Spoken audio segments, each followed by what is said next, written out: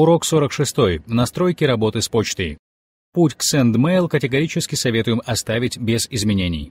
Чтобы использовать SMTP-авторизацию, нажимаем «Да». А если наш почтовый сервер не требует аутентификации, ставим «Нет».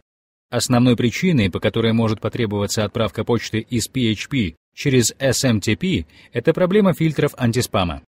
Современные серверы настроены таким образом, что отправляя письмо через функцию Mail, в заголовке письма также добавляется информация, по которой очевидно, что почта была отправлена при помощи mail-сервиса. А фильтры антиспама подобное, как правило, не любят.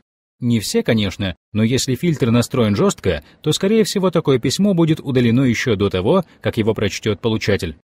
SMTP Security позволит указать систему защиты, применяемую на вашем SMTP-сервере.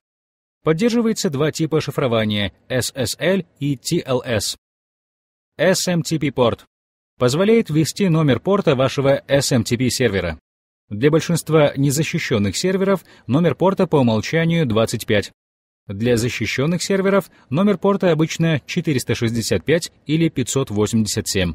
При необходимости также можно ввести в соответствующие поля SMTP-логин и пароль почтового ящика администратора, того самого, который мы указывали при установке системы. Адрес SMTP сервера рекомендуем оставить без изменений. И, конечно же, не забудьте применить все проделанные изменения, нажав кнопку «Сохранить».